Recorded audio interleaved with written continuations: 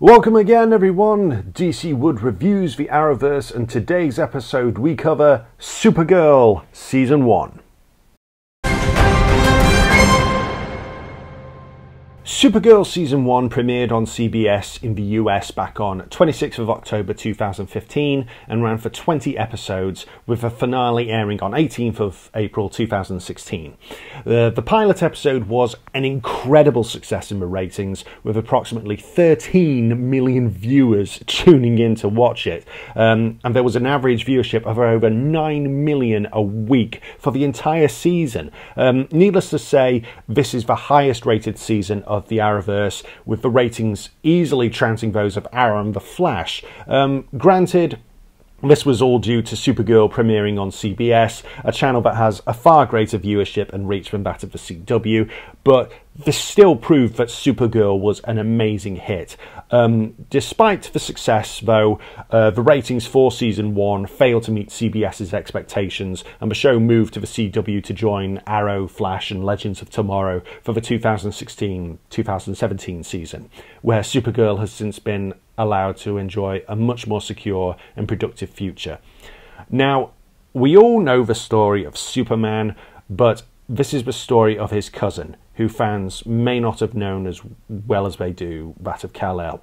Um, Kara Zor-El was 13 years old when her home planet of Krypton exploded. She escaped with her baby cousin when her parents put her in a pod of her own, saving her life and charging her with protecting Kal-El upon reaching Earth.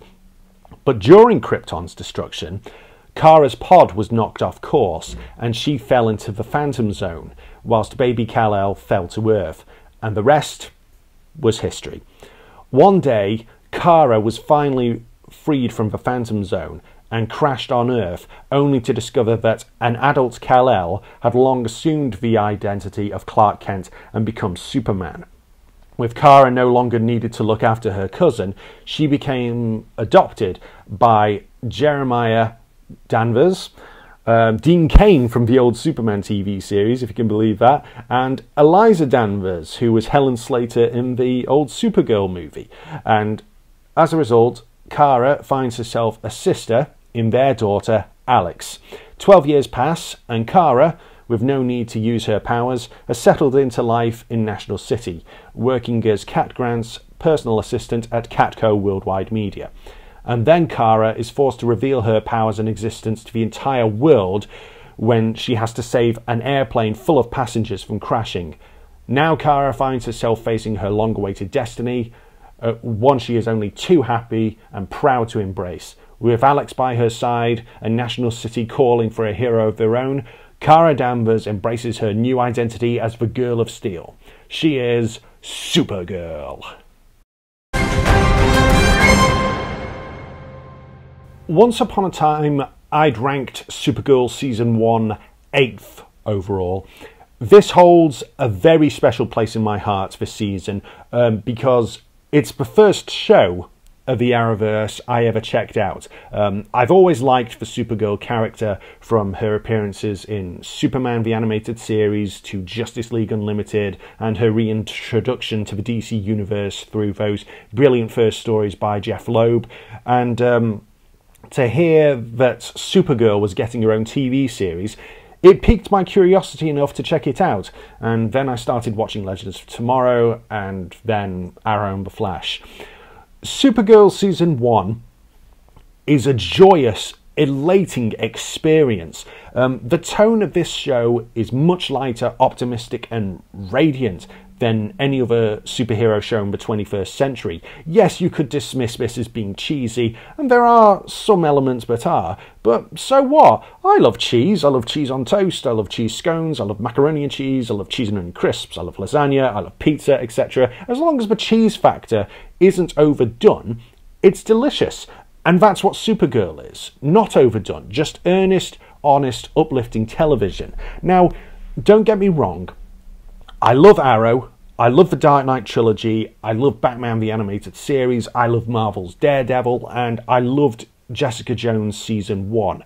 Here's the thing though I don't want to watch dark, gritty, violent, and occasionally depressing television all the time. Sometimes I fancy watching something much lighter and tonally different as a counterbalance. Supergirl fills in that gap very nicely, and just because it's different doesn't mean it doesn't deliver. It really does. Um, to start with the presentation, Supergirl season one takes all the right boxes.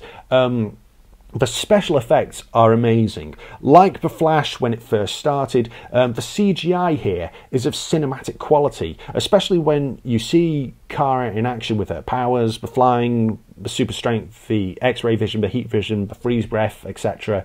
Um, the various fight scenes and aliens, all done on a with cinematic quality. Uh, Blake Neely's score, the man doesn't know how to produce bad music. It's so good. Um, it's the, the Supergirl theme for this show. It's similar yet different from the Superman theme and reflects the differences and captures the essence of this character. And of course, there's the costume design, the Supergirl suit production. Um, the character has always had an iconic look in the comics and in the, the cartoon. Um, the the the S on her chest, the blonde hair, the red cape, red skirt and boots. It's classic, but the costume was in serious danger of being outdated for a 21st century TV show. It would have been so easy to get this wrong, but Colleen Atwood has produced something here that's perfect. Um, Colleen Atwood, as fans know, designed the original Flash outfit for Grant Gustin and the original Arrow costume for Stephen Amell. Here, Colleen worked her magic for Melissa Benoist. Um, it's functional, it's not sexualized. It looks fab. It pays homage to the character's roots while suitably toning it down and making it fashionable for the 21st century. It's perfect, so perfect that this outfit was used unchanged for seasons 1 to 4 of Supergirl. And of course, Melissa Benoist wears it with pure grace, strength, and inspiration. Um, speaking of Melissa Benoist, it's perfect casting yet again. Like Arrow, like The Flash, Melissa Benoist nails the dual role flawlessly. She has such range and versatility, it's amazing. When Kara smiles, it's so cute and utterly adorable. Whenever she cries, you feel for her so much. You cheer for her whenever she's fighting the good fight. You cheer for her when she's victorious. When she falls down, you root for Kara to get back up and keep fighting. Whenever she's in danger, you feel for her. When she terrifies you, you're genuinely scared of her. Um, to see Kara Danvers grow, struggle, learn, show her potential, prove how genuinely kind, sympathetic, brave, brilliant, loyal, and supportive she is, it all showcases that Kara Danvers is just as deep and colourful a character as Clark Kent. Kara gets so much um, amazing development in season one. It's beautiful. You're so engaged in Supergirl's story. It's amazing. And that's mostly down to Melissa being genuinely perfect in the role. Um, like Arrow and The Flash, the main lead has the, has the supporting cast to match. Uh, there's Chyler Leigh, Alex Danvers, uh, Kara's adoptive sister, uh, Mehcad Brooks, as the Arrowverse's incarnation of uh, popular Superman character James Olsen, uh, Jeremy Jordan, uh, Winslow Schott, uh, Flockhart as Cat Grant, and David Harewood, Hank Henshaw, mysterious head of the Department of Extranormal Operations, aka J'onn Jones, the Martian Manhunter himself. Um, all are genuinely perfect in their roles, all are amazing, all are beautifully developed, the most heartfelt moments in season one are definitely between Kara and Alex and Kara and Cat. Um, even though Kara is a Kryptonian and Alex is human, you can truly buy into the fact that they're sisters. There's a genuine bond between them, and Alex is not just one of the greatest original characters in the Arrowverse, she's also one of the best things to have happened to the Supergirl character. Alex is crucial to Kara's story, and vice versa. Their relationship is the heart of the show. Um, Likewise, to see Cat mentor Kara and Supergirl and see herself ultimately change and grow for the better. It's wonderful. And I lost my mind when I saw Henshaw reveal himself as the Martian Manhunter. All this development, these relationships, the sheer characterization is utterly beautiful all round.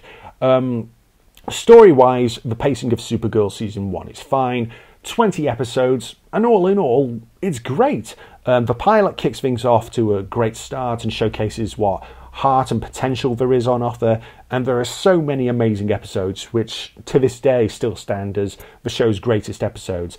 And the best um, stories in the character's history. Frankly, um, Stronger Together, Live Wire, Human for a Day, um, For the Girl Who Has Everything, that's a beautiful adaptation of the classic Superman tale for the man who has everything. Um, Falling, um, which sees what effect red kryptonite has on Kara. That's the show's darkest and most terrifying episode to this day, and it's a real game changer. World's Finest is an absolutely awesome crossover with The Flash, which sees Grant Gustin pop by and helps set things up for Supergirl's proper initiation into the Arrowverse.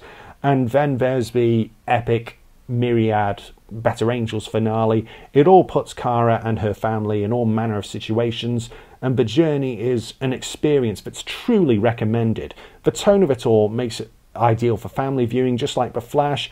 It's wonderful, really wonderful.